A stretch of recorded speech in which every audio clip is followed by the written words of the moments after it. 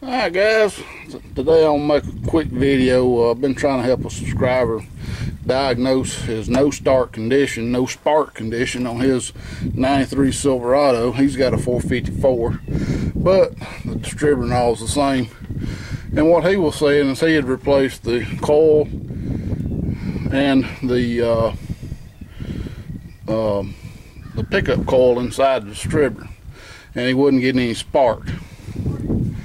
So here's the issue with these these distributors on this electronic distributors. You got an external coil sits right here. And it's got some plug wires goes in. The pink, the pink one right here, focus, is power switched, hot all the time when the switch is on. And the white one beside it goes to the tach, if you had a tach and then it comes out. Same colors.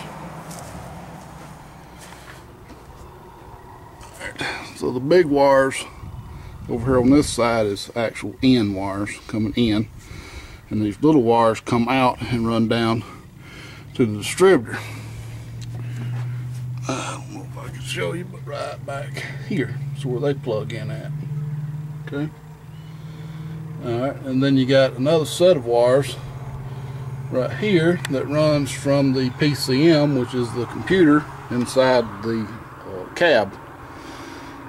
And this is a what they call a bypass ignition system, so that when you're cranking the ignition control module, which sits on the distributor cap in that base there, controls your spark. It tells tells your uh, coil when to spark the uh,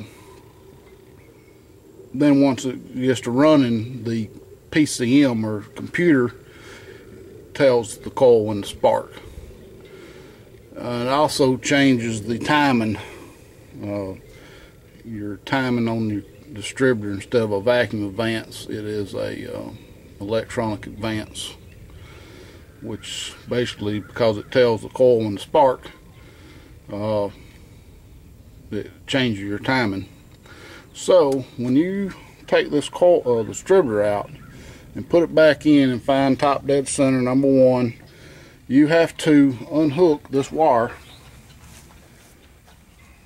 right up here. If you follow this lead out, there's a wire, there's a connection right here.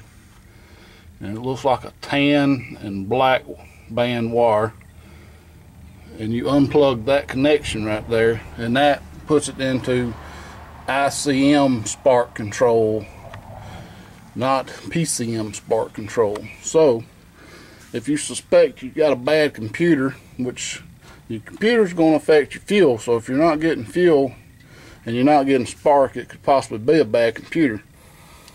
But if you suspect it is if you're getting a no spark condition when you're cranking it and you suspect that that uh, module's bad, you can unplug this wire and that will keep your computer from even trying to send signal to it. And you also have to do that to actually do the timing. It will run with that plug unplugged to set initial timing. And then of course you want to cut it off and then plug it back up and then recheck your timing.